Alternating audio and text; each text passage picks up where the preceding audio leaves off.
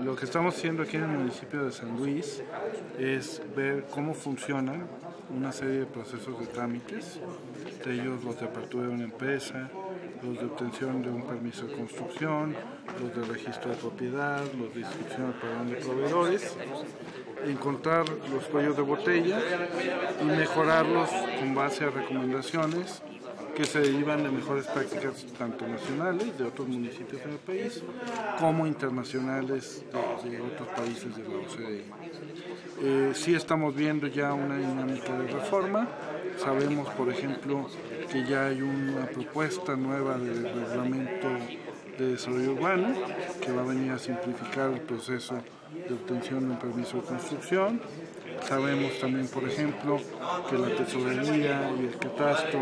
están adoptando un nuevo sistema electrónico que va a facilitar sus interacciones entre ellas mismas para compartir información y requerir menos documentos a los ciudadanos y también va a facilitar sus interacciones directamente con los ciudadanos.